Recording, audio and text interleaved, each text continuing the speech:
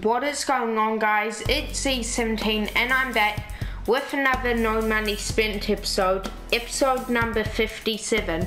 The reason I've been doing a lot of these is because there's been so much to go over in my team recently.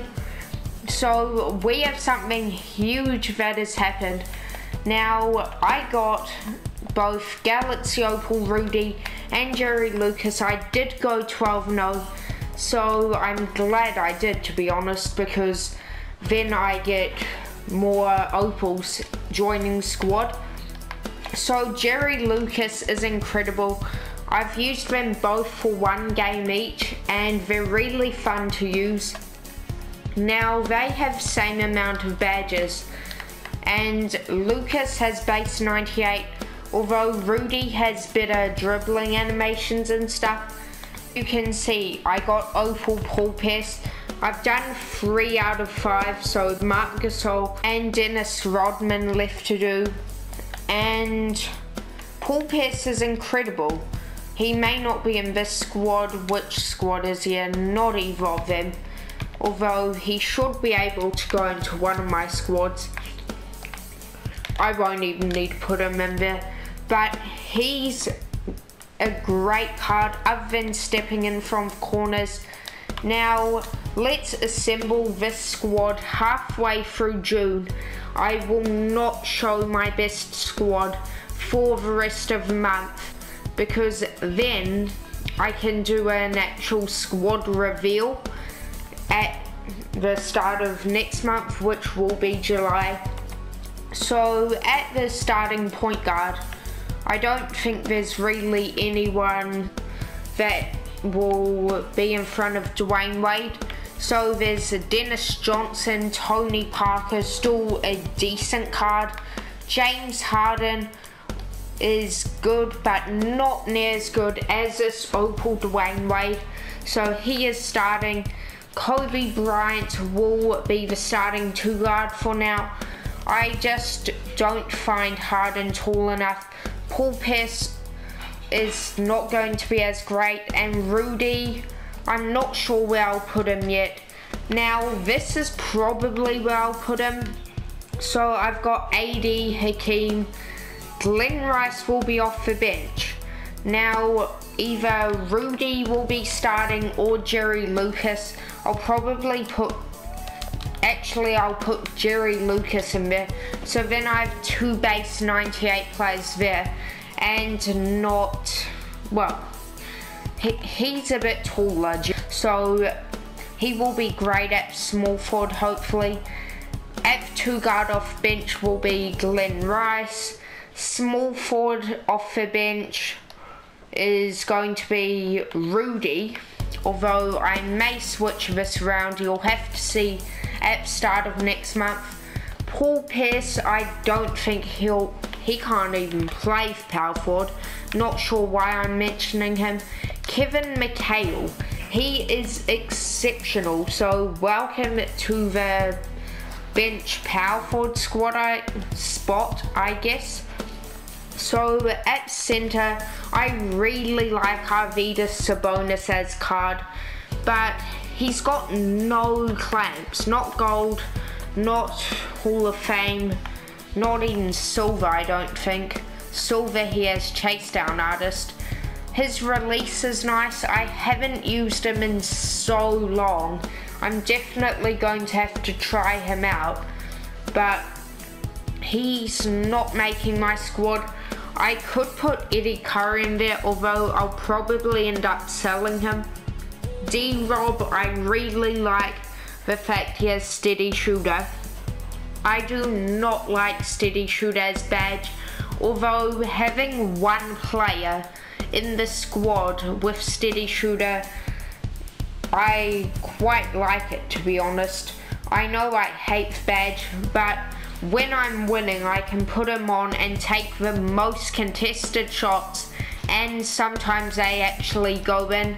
So I'm going to keep him there. Dave Cowens, obviously, you see him there. So Brandon Roy, I really want to keep him in the squad. I don't think I've got anyone that is better with Trey Burke base. Walter Davis maybe, but I'm not really going to put a pink diamond in this Opal squad. Now, Paul Pierce could be in there instead. Same with Dave Cowens. I'm just going to quickly check out my opals here. So Wilt Chamberlain's good enough. Tony Parker's good enough.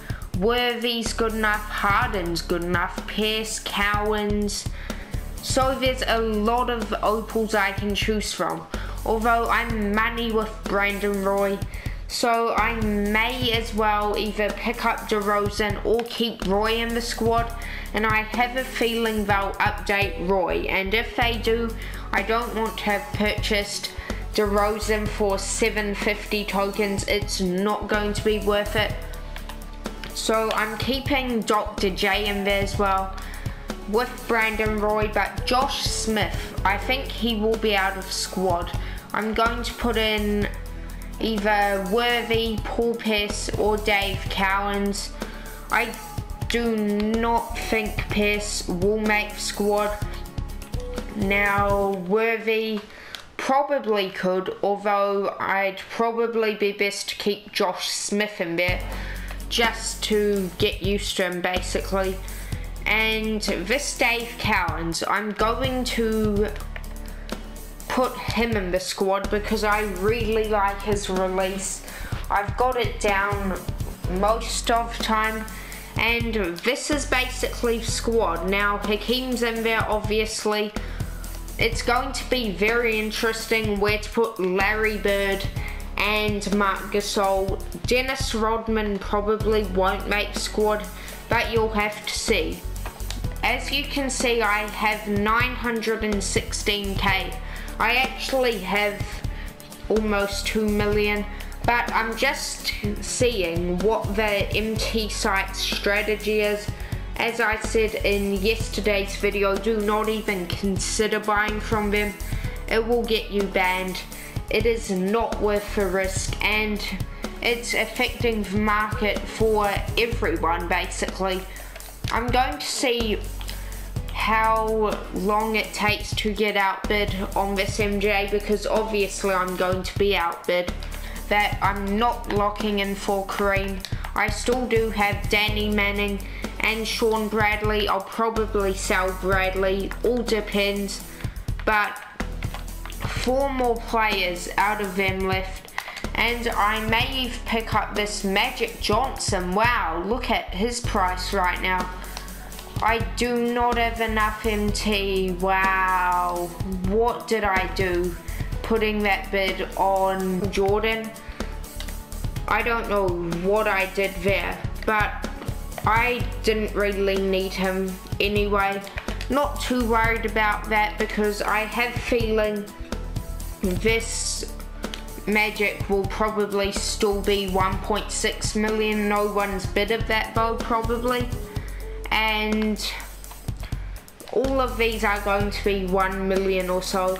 I think I'll pick one up before packs go out of market because then his price may go up like this MJ's price has as you can see 966k now